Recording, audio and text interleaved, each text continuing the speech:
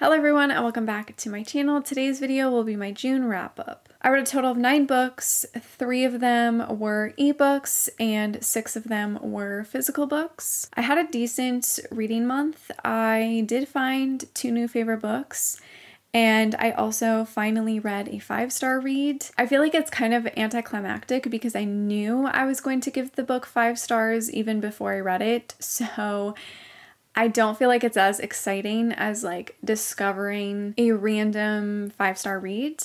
Um, but regardless, I'm still really happy I finally read and rated a book five stars. The first book I read was Mafia Mistress by Mila Finelli. This I gave two out of five stars. This is a dark mafia romance. It follows Francesca, who is set up in an arranged marriage, and she is supposed to marry the heir of this Italian mafia king. However, things change when that mafia king himself is interested in Francesca. I found Francesca really annoying, even though like I understood where she was coming from. I understand why she was acting the way that she was, but it just annoyed me. And I didn't really care about Fausto, I think that's his name. Fausto. He also kind of annoyed me. This book definitely had more smut than plot, and usually I'm like fine with that, but I just wasn't really in the mood for that, and I didn't really think that this book had that, but it did. So there wasn't much of a plot. And there is a plot twist in here that I was unfortunately spoiled for, so I was just kind of waiting for that to happen the entire book. I did feel like they had chemistry, but also at the same time, like I just didn't love them as characters, so it was hard to be invested in their romance. I was expecting to really love this because I had seen really good ratings from a lot of people, but I don't think I was in the right mood to read this, and I just didn't end up loving it. Then I read Every Summer After by Carley Fortune, and this I gave three out of five stars. This follows Persephone and Sam, who grew up together every summer and they ended up falling in love. But then something happened that ended up separating them and they have not talked for 12 years. And this book takes place in the past and in the present and it shows Percy and Sam like slowly falling in love and then you also see the present where they end up reuniting at Sam's mom's funeral. I'm going to start with the things I enjoyed about this book. I enjoyed the friends to lovers aspects. I enjoyed the Canadianisms in this book. The author is Canadian, and I loved all of the little Canadian things that she put in this book. I enjoyed all of the parents in this book, like Sam's mom and Percy's parents. I enjoyed the summer vibes in here and the lake house aspect, you're kind of just waiting for the reveal to happen or like the reason why they didn't speak for several years. And that reveal ruined this book for me. I would have given this book four stars if it weren't for the reveal, but unfortunately, the reveal, plot twist, whatever you want to call it, it ruined it for me. I genuinely feel like Percy should have ended up with somebody else. I feel like Sam did not appreciate her or deserve her. I mean, she even says in this book at one point, I just wanted to feel wanted. I feel like Sam never showed that he loved her or that he truly cared for her. And I understand they were teenagers and it's very confusing. And I'm not excusing her actions either, but I just feel like I understand where she was coming from and like why she did what she did. It also just annoyed me that Sam and Percy were like never really honest with each other or never truly confess their feelings until it was like too late. I also really love Charlie. I thought he was a great character.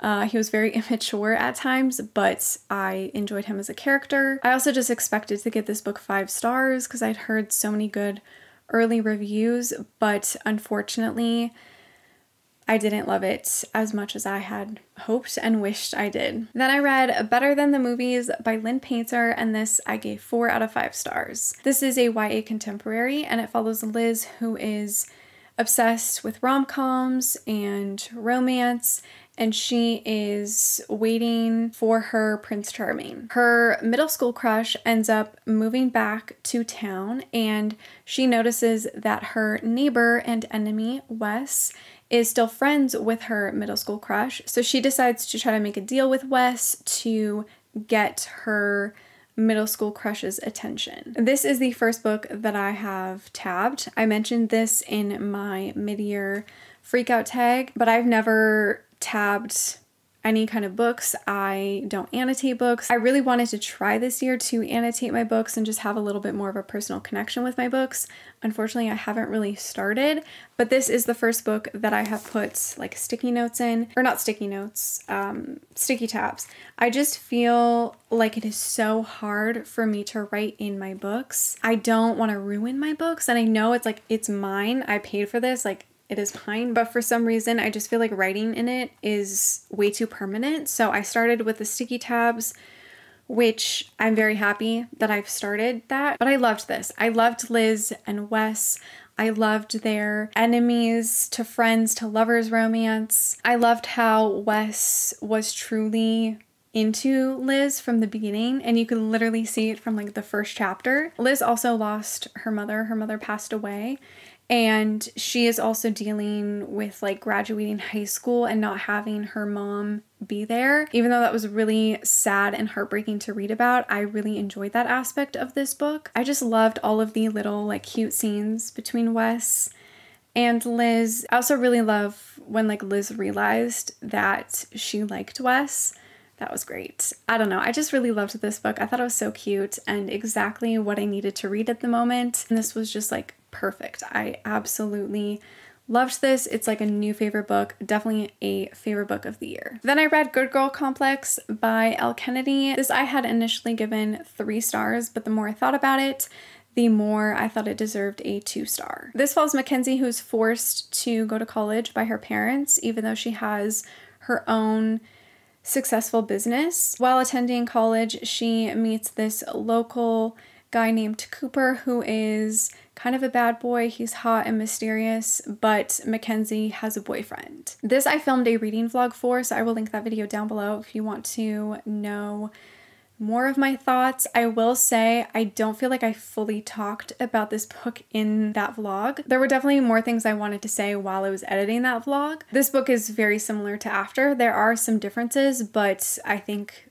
for the main plot, it is pretty similar to after. Their relationship was definitely like Hardin and Tessa. When they started dating, their relationship was very toxic. Mackenzie runs this website about relationships. It's like girlfriends and boyfriends post about their relationships and like dramas, I guess, in their relationship. The fact that Mac runs this website and she's read some of these entries she is so clueless about relationships. She was so smart in as- like certain aspects, like she has this whole successful business, yet relationship wise, she's really dumb and she's very gullible and naive, but like it doesn't really match up with like her business side if that makes sense. I also feel like it was kind of unrealistic that she was so successful at like 20 and she made all this money and she could afford to buy this hotel and it, it just felt like very exaggerated. I feel like Elle Kennedy wrote Mac to be so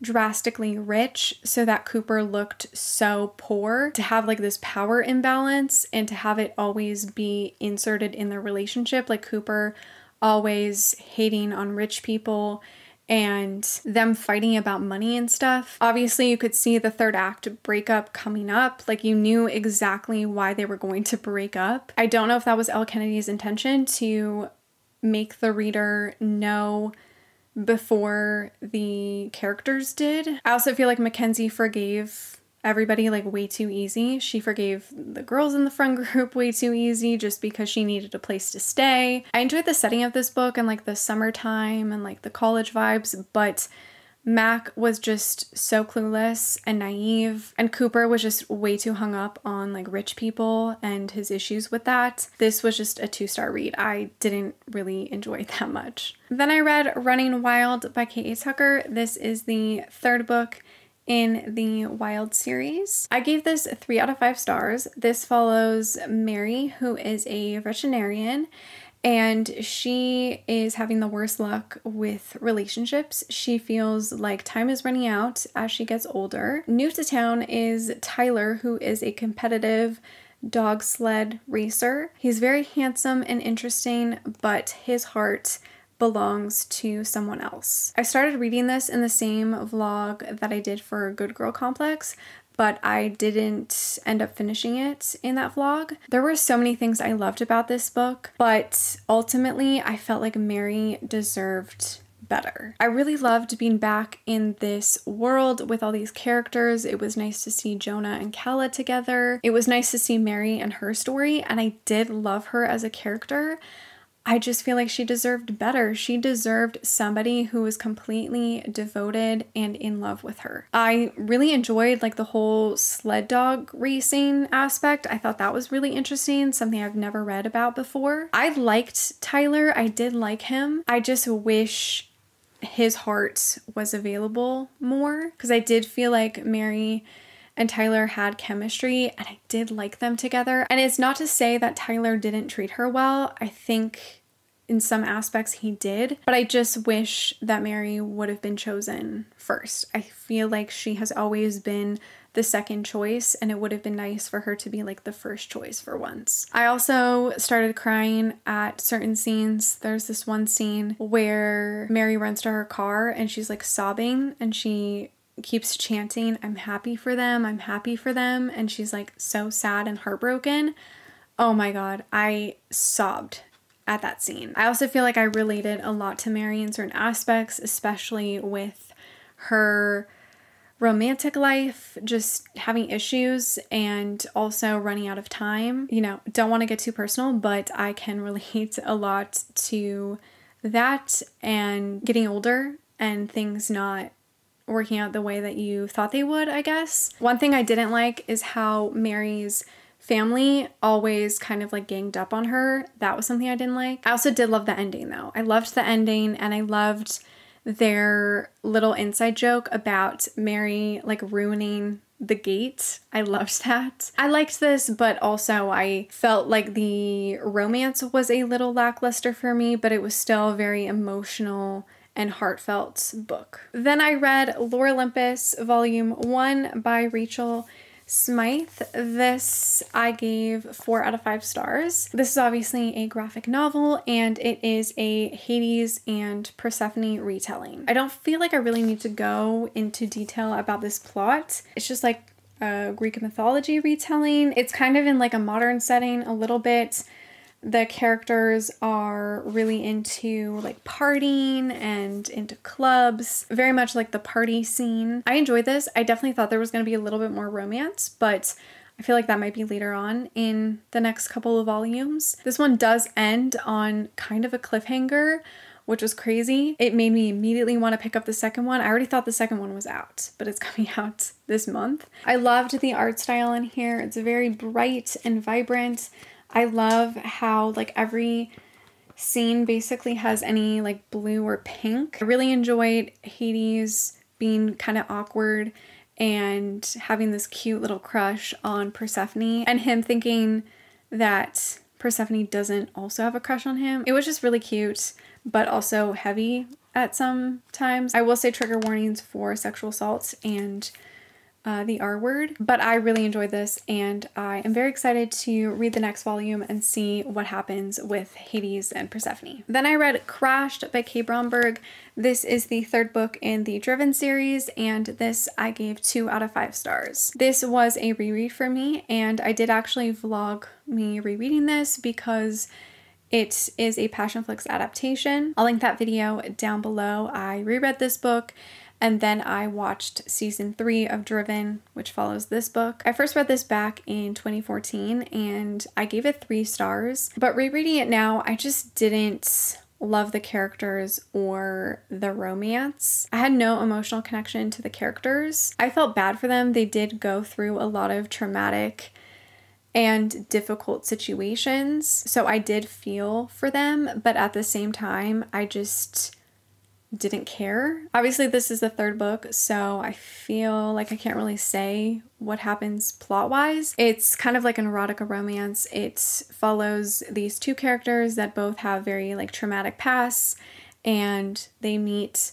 fall in love, but have a really difficult relationship. Obviously, they both have specific habits, especially Colton. He is very much like a playboy, but Riley helps him with a lot of things and he definitely changes. I will say they both do have fantastic character growth, and it was nice to see them finally happy. And I am really glad I did reread this and watch season three of Driven. I just didn't love this series as much as I remember enjoying it back in the day. Then I read my five star read, which was From Lukov with Love by Mariana Zapata. This follows Jasmine, who is struggling to keep her figure skating dreams alive until Ivan Lukov has an offer for her that could change everything. Obviously, I really, really loved this. I loved Ivan and Jasmine together, and I loved them separately as characters. I don't think I've ever read a romance book about figure skating. I've just read about hockey players. So I enjoyed the figure skating aspect of this book. I thought it was very interesting. It was also very intense to read about them training and practicing. And Jasmine was like very motivated and very strong. She just literally fought for her dreams, which I really enjoyed reading about. I really admired her for that. She truly never gave up on her dreams and she always always fought for them. I enjoyed Jasmine's family, although I did feel like it was kind of overwhelming to read about all of them at once. Ivan and Jasmine had a hate to love relationship. They really did not get along. They constantly bantered a lot and were constantly like bickering and fighting. It was nice to see that slowly change. Jasmine was very stubborn, so she was always kind of arguing and fighting on things. There were also so many little scenes that I really loved, like Ivan with his pets and when he like holds Jasmine's niece or nephew for the first time. That was like so cute. I loved that scene and that conversation. I also loved like the little things that Ivan did for Jasmine, like getting her like chocolates and a bracelet and I don't know, there were just so many little things that I loved about this book that I could probably make like a whole video talking about everything that I loved about it. I also felt bad for Jasmine feeling like she was nobody's favorite. Like in her family, she felt that she was like the least loved, even though I feel like her mom and the rest of her siblings kind of gave up a lot for her to pursue her career and her dreams. I also loved Ivan's love confession and everything that he said. I absolutely loved all of that and it was just so beautiful. I literally want to like write down. I mean, I wrote it in my life journal. I did like a spread for the book and I wrote like his entire love confession. Yeah, I just I really really enjoyed this book. It was so good and I'm so glad I finally read it. And then the last book I read in June was By Sin I Rise Part 1 by Cora Reilly. This is the first book in the Sins of the Father series. This I gave 3 out of 5 stars. This follows Maddox who is part of a motorcycle club and he is determined to get revenge on the Vitiello family for murdering his father and other men of the club when he was a child. And his club ends up deciding to kidnap Marcella, who is the daughter of the Capo. I enjoyed this, but I feel like the ending kind of ruined it for me. I also feel like Marcella was an okay character. I understand how she wanted to know more about the family business, but obviously she is a female in the family and females don't really do any mob business. She was trying too hard to be like this tough, like, oh, I want to be a mafia queen. I want to run the mafia business. I felt like it, she was trying too hard, essentially, uh, which I did not enjoy. I didn't feel like it was natural and like organic for her to like want to be a part of the family business. I enjoyed their romance, Maddox and Marcella, I did enjoy their romance and I liked how they fell in love, but I don't like the ending. The way that like Marcella essentially like made this deal with Maddox and like not really forced him to do something, but I feel like that was kind of out of nowhere. And they were talking about, like, oh, if you really love me, you'll do this for me. And I was like, girl, what are you talking about? Like, he doesn't really know you that well. But I did like the romance and I liked the whole like kidnapping aspect in this book, but that was like the only two things that I enjoyed about it, to be honest. I will read the next book and continue the series because this first book did end on a cliffhanger, but so far I'm not super impressed with the series. So that is it for my June wrap up. Let me know if you have read any of these books and what you thought of them, or let me know what books you read in June and which one was your favorite. Thank you so much for watching. Make sure to give this video a like, subscribe, follow me on all my other social media, and I will see you in my next one. Bye.